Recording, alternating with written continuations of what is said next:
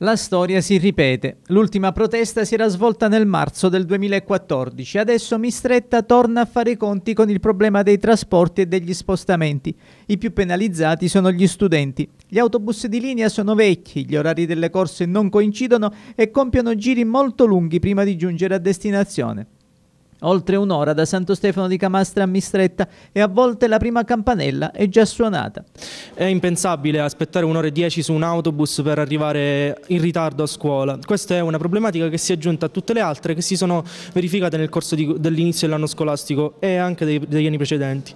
In più dobbiamo pagare 12 euro di abbonamenti in più che da 67 euro sono arrivati 13 euro anzi, da 67 euro siamo arrivati a 80 euro senza un giustificato motivo.